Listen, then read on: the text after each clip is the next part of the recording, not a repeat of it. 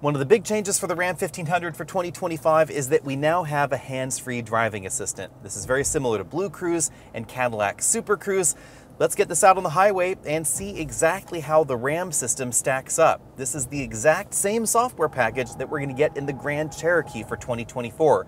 So if you want this software package, you can already order it on certain Grand Cherokee models.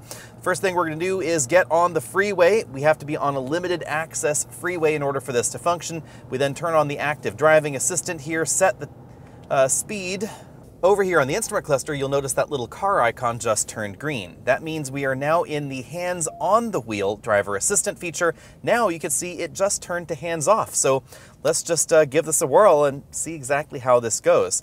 The requirements for hands-free driving in the Ram are pretty similar to the Ford and the Chevy. You have to be looking forward because it has a driver monitoring system right here just above the steering wheel. I have to say that location is an awful lot more discreet than the system that we find in the F-150 where there are sensors on the side of the driver rather than simply one looking at you. It's actually very similar to what we find in the General Motors Super Cruise system. I also think that these green lights on either side of the instrument cluster are a little bit uh, better as far as telling the driver what mode the system is in as well. In a lot of the Ford products, the LCD turns blue, and then it turns black when the system disables, but here I think that the green LED is just a little bit better. On the other hand, rather unusually, there's not a lot of information going on on the heads-up display. Right now, it's just showing our speed limit, our current speed, and our next turn-by-turn -turn direction. It's not telling me the status of the hands-off-the-wheel steering assistance system. I do think that is a little bit unusual. Uh, as far as paying attention to the road, I have a co-driver with me, so I'm just going to go ahead and glance away while Travis is paying attention. We'll see how long it, it actually lets you look at the camera right here. So go ahead and Travis, be prepared. Let's see what happens, see what it does if it thinks I'm inattentive. This is a really long time. It just started uh, yellow here, so it's saying, please look forward. Oh, my seat just vibrated. That's kind of fun. Um, is it going to do it more? I'm still not looking forward. Does it have another mode? Please look forward again. There we go. Oh, got, oh, it got very mad. It started turning red. So I actually think that's a little bit better done as well than some of the systems that we find in Ford Blue Cruise. I do think that Cadillac Super Cruise and that lighted section of the steering wheel is better. Also, I just noticed that it told me I needed to put my hands back on the steering wheel, but very similar to Blue Cruise, there's kind of a disconnect there. Because if I'm staring at the road just in front there, I'm not looking down there for the car to tell me, hey, put your hands back on the steering wheel. I'm surprised it didn't beep, it just showed me on the screen. The system also doesn't do a good job telling you, hey, I'm in hands-free mode. It just turns green, it doesn't beep at you. So again, if you're paying attention to the road ahead, it's not really going to be there to tell you, hey, you can take your hands off, or hey, you need to put your hands back on. I am surprised that this is something that RAM has not thought about as well, but I'm actually probably a little bit more surprised that we're now on several versions of Blue Cruise and Ford still hasn't fixed that particular problem.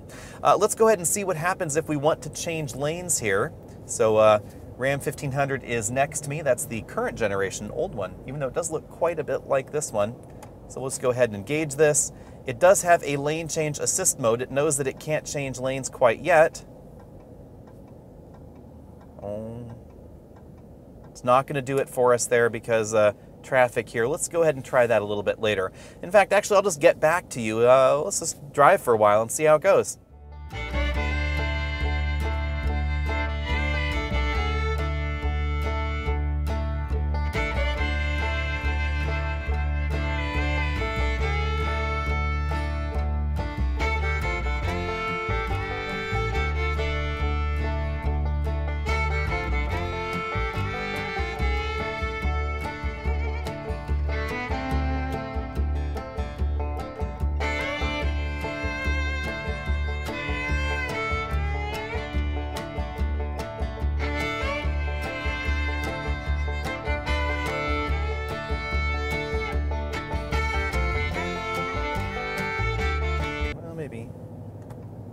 Oh yeah, there we go. There's an automated lane change right there. Like most of these systems, it is very, very cautious about the automated lane change.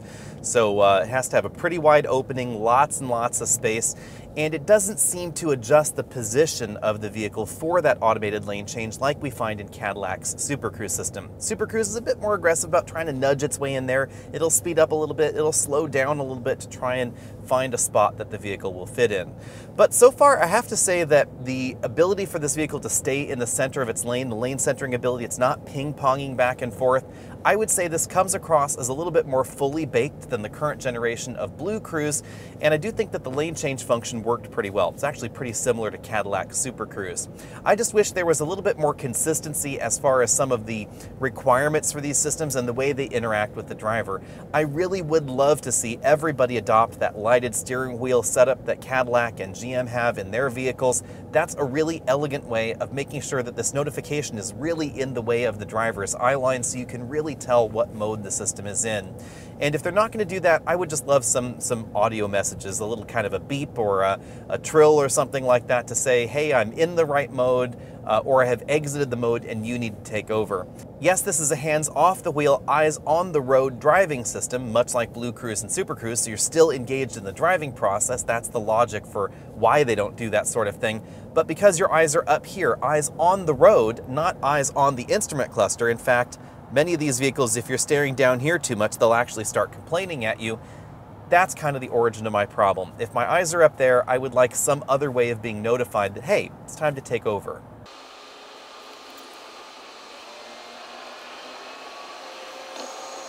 We've got 12 more miles to go on I-35, so let's just see if it requires any interventions between now and when we get to Austin. Ooh, we got close to that line there. Got a little close to the line over there. Didn't need any intervention, but I do think that it just swerved a little bit to the one side. That was a relatively sharp turn on this road. These lines are not exactly smooth on this section of I-35. Uh, like Super Cruise and Blue Cruise, you can put your hands on the steering wheel and correct it if you feel like you need to. So if you are a little bit worried in an area where you think there might be a tight corner coming up, you can just grab the steering wheel. It won't exit the drive mode. You can just assist the assistance system, I guess you could say.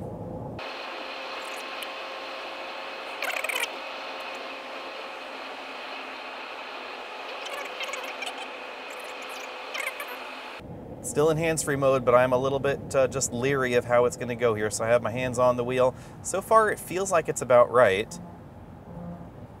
The lane lines there are not very clear. There's some construction going on. Unlike some of the systems, it did not turn off. It decided to just carry on in the hands-free mode. Oh, now it's gone to no hands-free unsupported roads. I think that's because of the construction. Uh, this is pretty common with hands-free driving tech, so I can't really claim that as a demerit on this system because Blue Cruise and Super Cruise would also have canceled under this same situation. And up here, we're going to be in an area where you're not supposed to change lanes because of all the construction going on. We'll see how it uh, takes over once this area is done.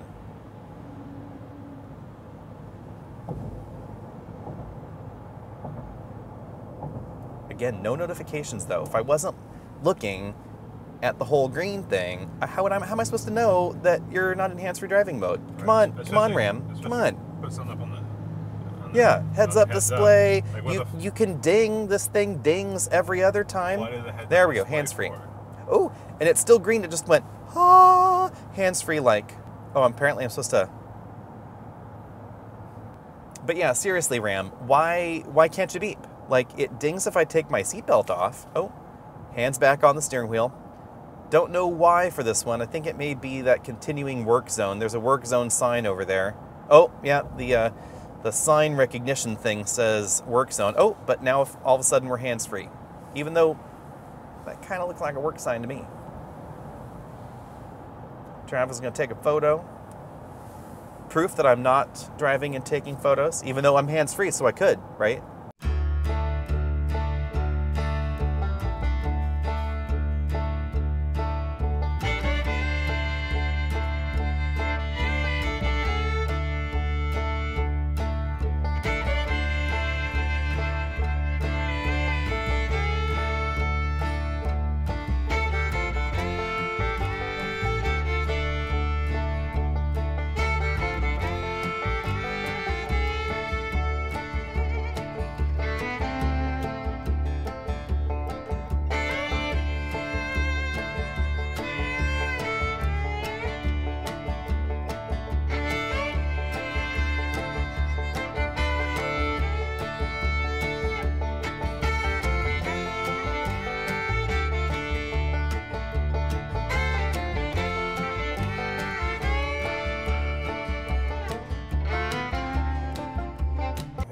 I don't know if I was gonna.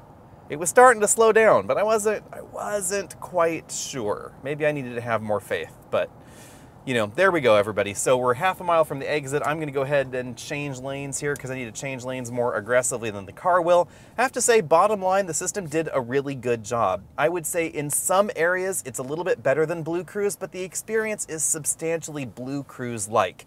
I would say that Super Cruise comes across as a much more refined system. It seems to operate on a greater variety of road surfaces because here in Texas, it will do a number of ranch to market and farm to market roads, whereas this system appears to be limited to the interstates and state highways here. So a little bit more flexibility on something like Super Cruise, and I think Super Cruise does do a better job of notifying the driver what it expects of the driver. And that's one of the most critical components for me because Systems like this are not automated driving. This is not an autonomous driving system. This is a driver assistance system where you are still engaged. Eyes and brain involved, hands off the wheel, but there is still a lot of driver involvement required in this kind of system. And if the car is not doing a good job of notifying the driver what it needs from you as far as control and input, then I would say it's a bit of a problem. And I would really love to see just better explanations about the modes, especially in the heads-up display or on the steering wheel or an audible symbol, something like that, an audible uh, notification rather. So let me know what you think about all that, and are you interested in this kind of system? Do you have this on the Grand Cherokee? Keep in mind that this is generation one of this system from Ram and from Jeep, and this is fully over-the-air updatable. So obviously there are going to be refinements and improvements coming in the future, and definitely refinements and improvements on future vehicles coming in the future as well. So I would say as far as a first generation system, this is actually about as good as the first generation Super Cruise was, and I think better than the first generation Blue Cruise. So they've already started off in a pretty decent place. Let me know what you think about all that. Hit that subscribe button and check out the full review of this Ram 1500 with the new 3 liter twin turbo engine under the hood. See all of you later.